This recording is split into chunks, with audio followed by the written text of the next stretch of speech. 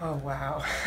well, it started out originally, I was a stay at home mom, full time college student, and um, their father went to prison, and I was forced to overnight to be you know have to fend for myself which wasn't wasn't very easy being a stay-at-home mom for seven years. Um, he's now married and he lives in arizona.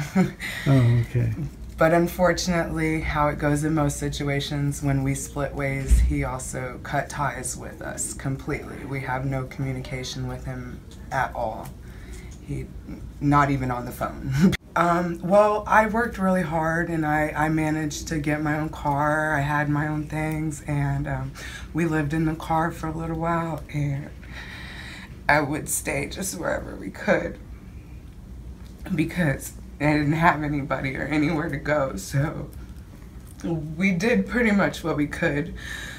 My kids were in daycare and I'd known the daycare worker you know, for a little while, and she let us park in her daycare parking lot, and we would sleep there. And then first thing in the morning, because they opened so early, we would go inside and use the bathroom and sometimes like I would just wash them up with with napkins and stuff like that so they would be ready for school.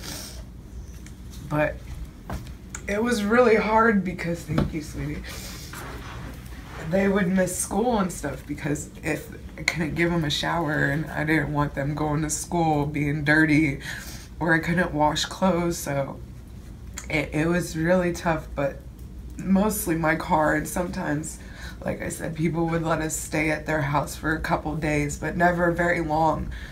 For you. Oh, wow. They've helped with back bills so I could get my utilities turned on, my water and electricity. Um, they helped with daycare funding so that I could continue to send my kids to to daycare. Um, rent, which is they've helped me stay afloat as long as I have, and um, they've been helping me look for a job as well. Christmas, food, clothing, a bicycle, bus passes, my birth certificate, my ID. The list is so long. There's all kinds of things and I I would be lost if it wasn't for them. Honestly, I would still be on the streets right now if it wasn't for them.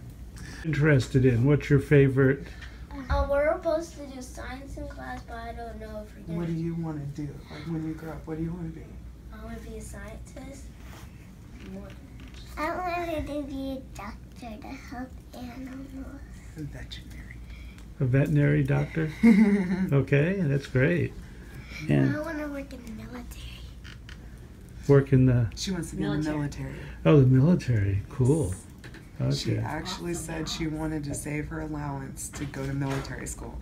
I told her she didn't have to do that.